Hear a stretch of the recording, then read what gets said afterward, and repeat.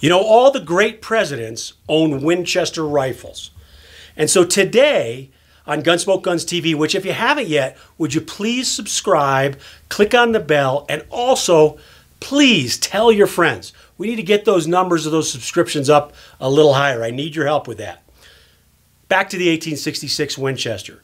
This was the first of the urban assault rifles. This gun was phenomenal. It was great. Now, some of you are wondering, I know some of you are going to question, hey, didn't you get in trouble and you're not supposed to be handling guns? I filmed this years ago before any of this stuff happened. Matter of fact, just so everybody knows, that set's completely gone, no longer exists. So there's no possible way I did this recently. Anyway, I hope you get a lot out of the history that Bob and I have to show you. Thank you very much for watching. Please tell your friends about it, subscribe, click on the bell, do everything you can to help us blow this up. And we're going to bring you some more great stuff. Hi, I'm Rich Wyatt. Welcome to GunsmokeGunsTV.com.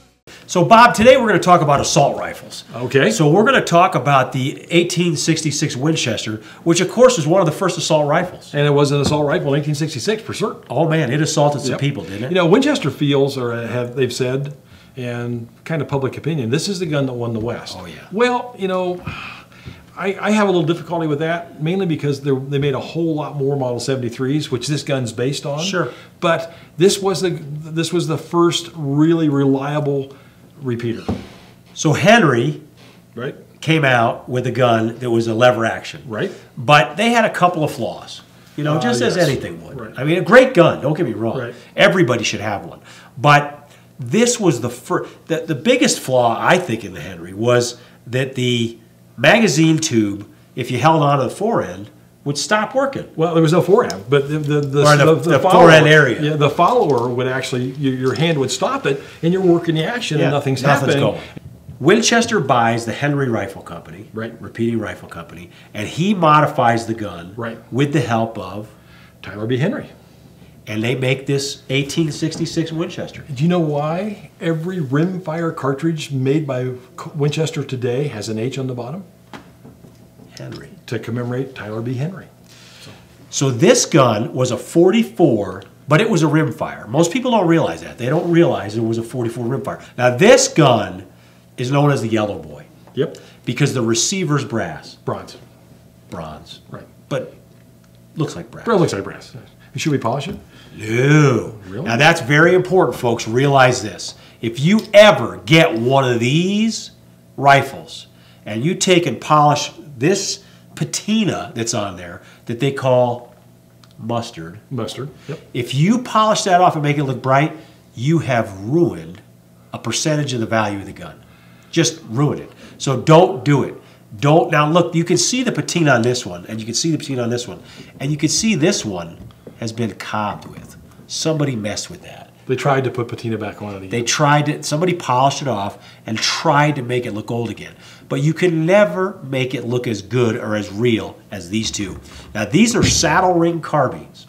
This is the, uh, to me, the coolest. You see mostly the rifles with the octagon barrel. Right. But the saddle ring with the saddle ring on the side, short barrel, round barrel gun. This is a saddle gun. This is something that was. This is what the Cowboys used. Oh, man. When they were out out in Texas, rounding up the Longhorns to head them up to Kansas to put them on the train to head them back east for the beef hungry people after the Civil War. This was the rifle they probably carried. Actually, they probably didn't carry it on their saddles, but they had them in the chuck wagon or, Right. or the blanket wagon so that they could get them in case of an Indian attack or, or something like that. Do you know? Do you know what the saddle ring does? You know why it's called a saddle ring? Why? It's really interesting because this this actually started long before the Civil War. Carbines, mounted troops carried carbines. There was no real easy way to carry it. You couldn't carry it over your shoulder. You didn't want to do that because it's out of the way. So they came up with a ring, and it was a wide strap. the saddle ring strap with a with a spring hook on the end of it, and you hook that on the uh, on the saddle ring of the carbine, and there was a socket on your stirrups. You stuck the barrel down in the socket, and it kept the gun from bounce, bouncing around. But you had it readily available to shoot. right there. So, if you look at the guns today, all the AR-15s that are all across the world, this is the original single point sling, isn't it? It is. It is original single point sling. And what the cowboys did, they didn't carry that stupid strap that the cavalry troopers really needed. They put a piece of rawhide Yep. uh, on there and they hung it over the saddle horn. Oh yeah, because that's the hung it down that way. That's a great place for it to be. It was right there, readily available, handy to get to. So really, if you look at this gun, this stuff is still used in battle today. This single point sling is just like you're going to mount on your AR-15 or your AR-10. All the stuff, all the newfangled, you know, Velcroed stuff you got started right here, right here on the Winchester rifle. And you know what? I believe that this is a true urban assault rifle. I think a guy that runs a gun like this, now maybe not the 66 because of the because of the receivers, a little weak. Well, you know what? In 1866, there was no argument because there was nothing else. No well, argument. actually, there were other guns, but, this is probably the most, one of the most popular, if not the most popular, uh, available to the average cowboy if he can afford to save up the 23 bucks or whatever it costs to get one.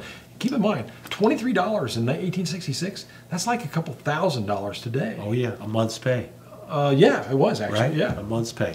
We look at this stuff, and this was the stuff that started this country and got it rolling and got it going. And let me tell you, I still think if you take a Winchester 1894, that 1894, I still think that's a, a good urban carbine.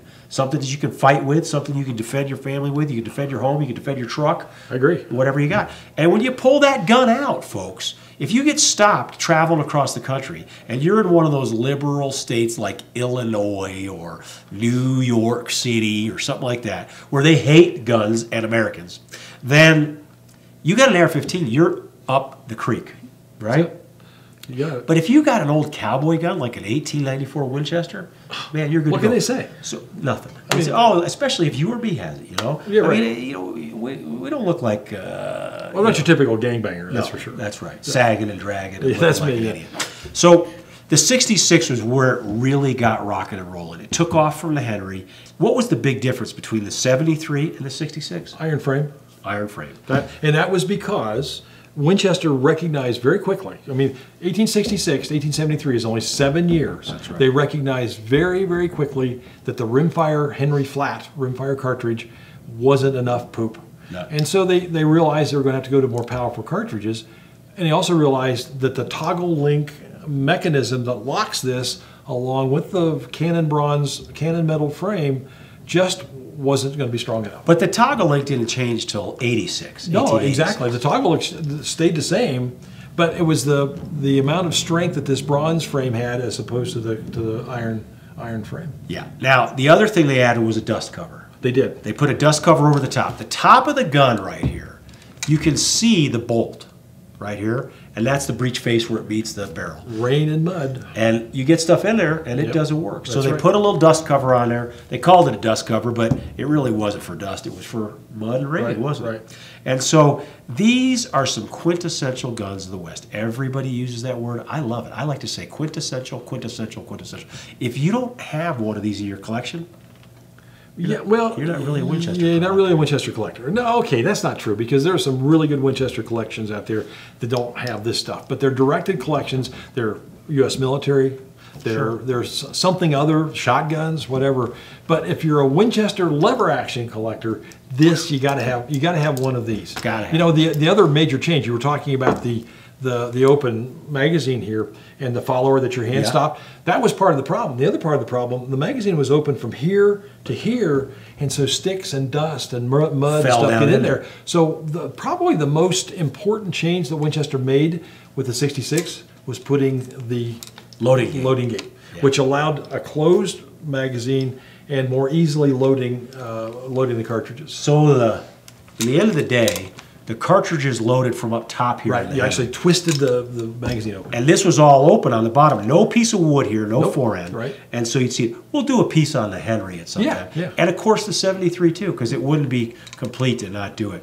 But guys, let me tell you, This Winchester right here is a collectible gun.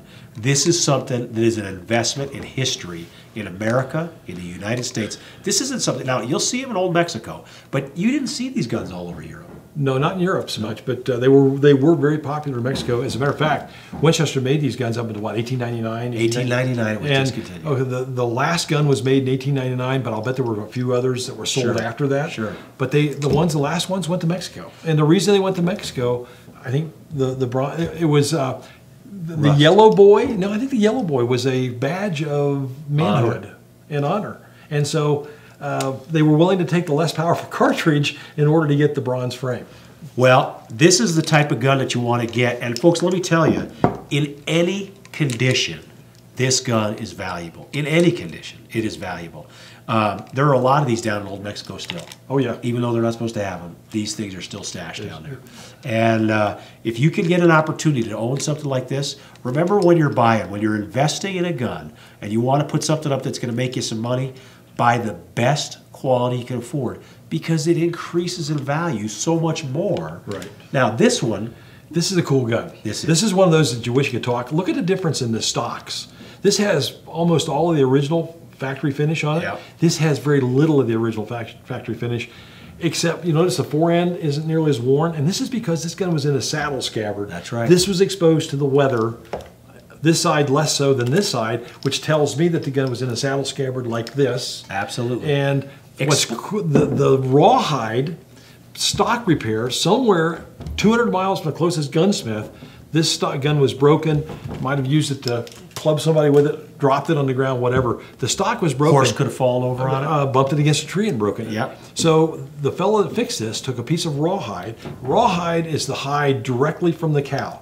It's un, uh, it's un, un uh, Tanned. tanned in any way. It's pure, hence the name rawhide. Yeah. He wrapped it on there. He stitched it tight with a rawhide thong, and then let it dry. And as it dried, it's that wood. The stock is probably stronger now than it was before the, the rawhide was put on there. Absolutely. So don't you wish this one could talk? Man, well, show them my favorite part of this one. What's that initial carved in the buttstock right there? Did you do that? No. That's an R. That's an R, yeah, you betcha. R. That's fantastic. Well, Bob, this is a gun that everybody wants a piece of, but not everybody can own one. So those of you that have one, congratulations. Those of you that are looking for one, go find one. Make sure it's a good gun because folks, there's a lot of fakes out there. They still make this gun today in an Italian copy. It's a wonderful gun if you're looking for a shooter, but it is not the collector that this gun is. So make absolutely sure because somebody tried to get to us once before on that Italian thing, didn't they? They did. And they almost did. They almost did. But we we prevailed because we brought in Larry Wilson and Steve Fjestad, who know it all. They know it all. And those guys are great, and they saved our bacon. As a matter of fact, they brought the, the rough drafts of a book that, that Larry was writing that had pictures and dimensions, and that's how they told the difference.